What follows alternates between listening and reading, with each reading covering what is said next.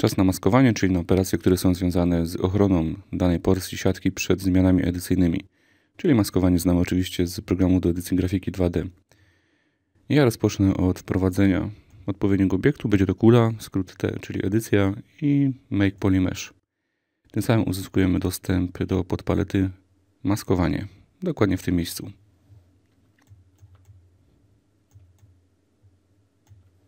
W górnej części tej podpalety znajdziemy część operacji, które możemy wykonywać w kontekście masek, jednakże wszystkie one mogą być przeprowadzone za pomocą odpowiednich skrótów klawiaturowych, zaś poniżej znajdziemy możliwość maskowania w oparciu o różnego typu aspekty pracy z siatkami. I tak, ja proponuję rozpocząć od odpowiednich skrótów klawiaturowych. Tak więc, aby maskować część naszej siatki, musimy skorzystać ze skrótu Ctrl.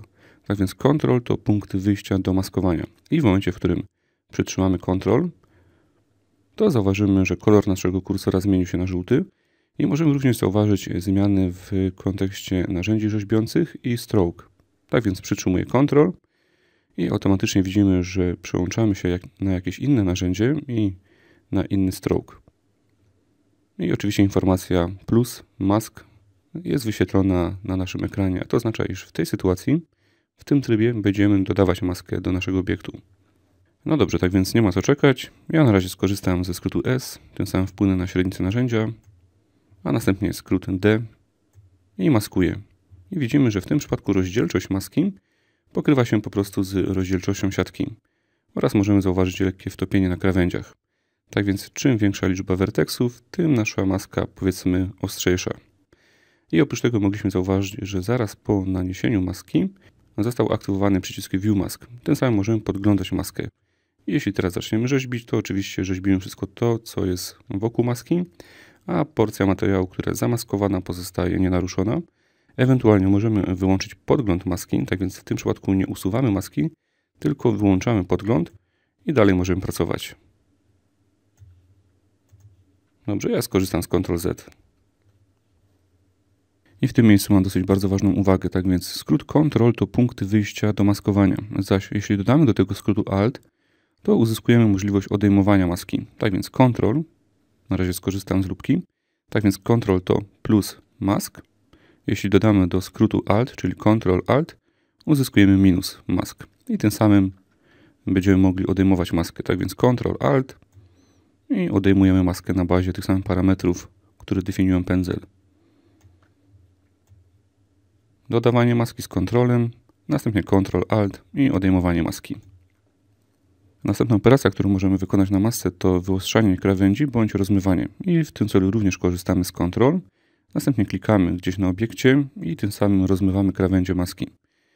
Ja skorzystam z Ctrl Z i jeśli skorzystamy z Ctrl Alt i klikamy, to automatycznie wyostrzamy maskę. I te dwie operacje właściwie korespondują z poleceniami, które znajdziemy w podpalecie maskowanie. Mianowicie rozmycie i wyostrzenie.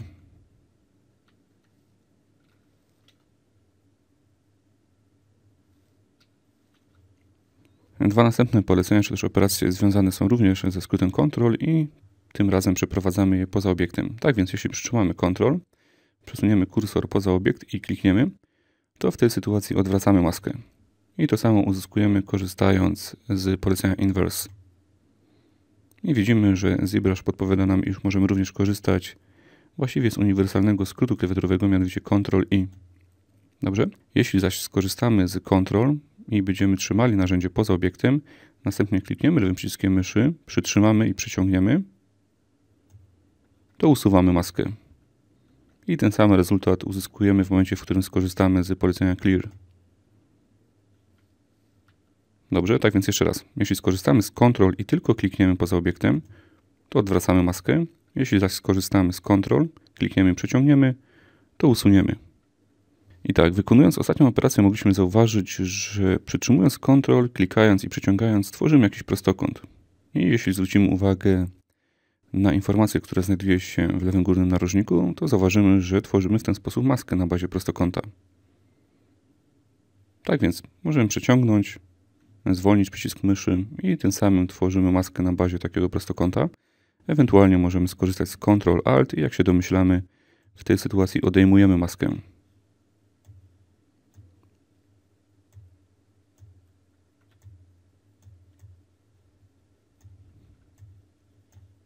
Tak więc Ctrl, przeciągamy poza obiektem, tworzymy maskę na bazie prostokąta lub Ctrl plus Alt poza obiektem, przeciągamy i odejmujemy na bazie prostokąta.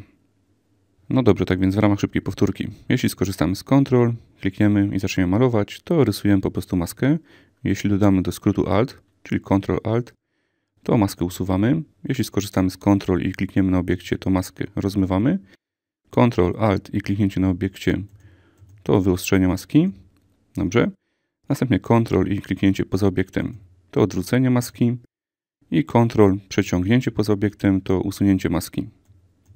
I tak Ctrl Alt przeciągnięcie to usuwanie maski. Ctrl przeciągnięcie to otworzenie na bazie prostokąta.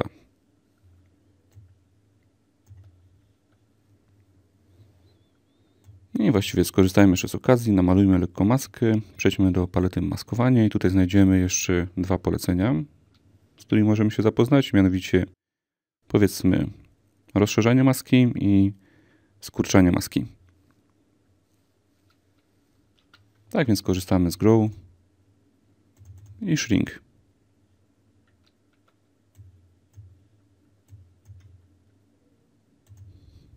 W ten sposób korzystając z Ctrl tworzymy standardową maskę na bazie standardowego narzędzia i po przytrzymaniu skrótu Ctrl możemy zauważyć, że narzędzie się zmienia, jak i stroke. Jeśli klikniemy na narzędziu, a właściwie na naszych pędzlach, to zauważymy, że pula dostępnych narzędzi jest całkowicie odmienna od tego, co możemy znaleźć w kontekście rzeźbienia. Tak więc skorzystajmy z Ctrl, kliknijmy jeszcze raz i zauważymy tutaj kilka narzędzi, na bazie których możemy maskować. Mianowicie Mask Circle, Curve, Mask Curve Pen, lasso i prostokąt.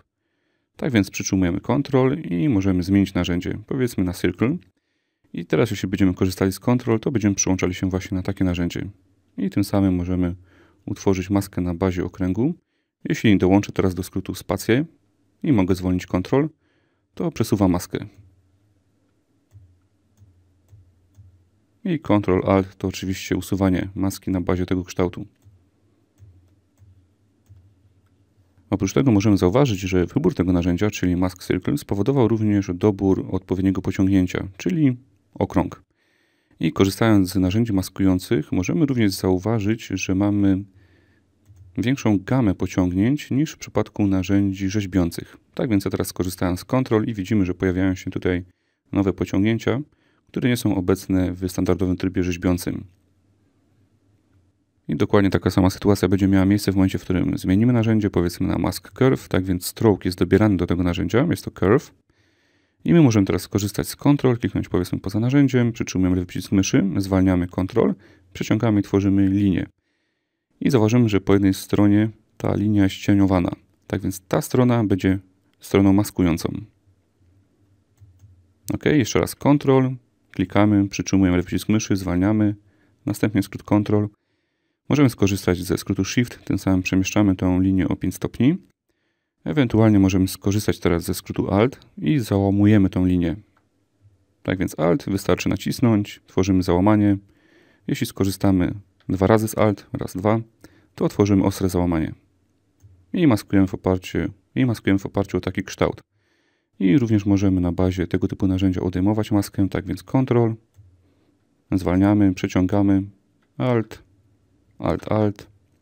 I tym razem korzystamy jeszcze raz Alt, tylko przytrzymujemy i odejmujemy maskę. Oczywiście po stronie ocieniowanej liny. I zobaczmy, jak będzie wyglądała sytuacja w odniesieniu do następnego narzędzia. Tak więc korzystamy z Ctrl, przełączamy się na narzędzia maskujące. I tak, jeśli chodzi o Mask Curve Pen, to ja proponuję na razie pozostawić to narzędzie. Przejdźmy do Mask Lasso.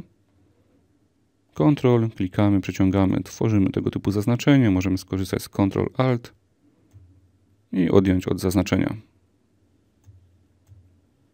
Dobrze? I następne narzędzie to Mask Pen. Tak więc, to jest, tak więc jest to standardowe narzędzie, je już znamy. Od niego właściwie wyszliśmy i przejdźmy do Mask Rectangle, czyli prostokąt maskujący. Widzimy, że również stroke się zmienia. Dobrze? I tym samym możemy tworzyć taką maskę w obrębie naszego obiektu, bądź oczywiście odejmować na bazie prostokąta, co zresztą możemy robić w momencie, w którym nawet pracujemy z Mask Pen, i tworzymy maskę poza obiektem. Oczywiście we własnym zakresie możemy również modyfikować parametry związane z narzędziami maskującymi. Tak więc ja proponuję przejść do standardowego narzędzia maskującego, czyli Mask Pen i możemy mu przypisać inny stroke. Powiedzmy, niech to będzie spray. I tym samym uzyskujemy taki rezultat. Oczywiście kontrolując parametry stroke będziemy również wpływali na to, w jaki sposób maska jest nakładana na obiekcie. Dobrze, i możemy również skorzystać ze stroke, który już znamy w kontekście innych narzędzi maskujących.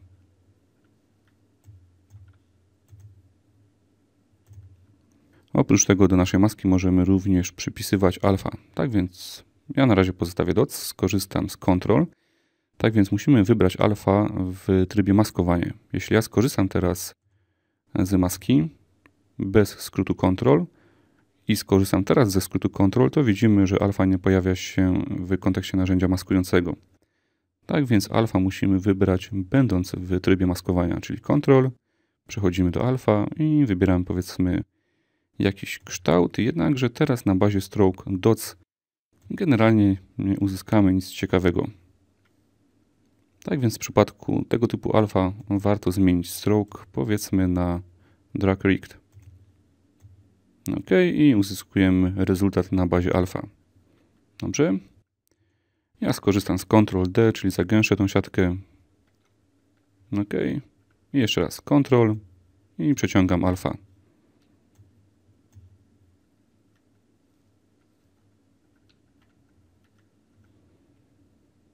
I obniżę intensywność mojego rzeźbienia. I jeszcze raz.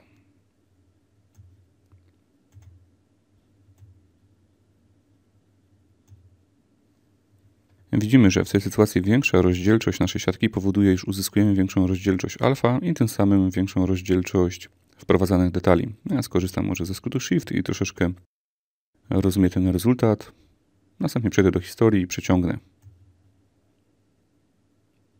I właściwie dokładnie ta sama sytuacja występuje w momencie, w którym będziemy chcieli połączyć narzędzie maskujące z teksturą. Tak więc ja skorzystam z Ctrl, wyłączę alfa, przejdę do tekstury i wybiorę powiedzmy taką teksturę, w połączeniu ze stroke na bazie prostokąta mogę narysować coś takiego. Ok, skorzystam z Ctrl Z jeszcze raz. Dobrze, View Mask. Tak więc wyłączę podgląd maski i tworzymy tego typu rezultat.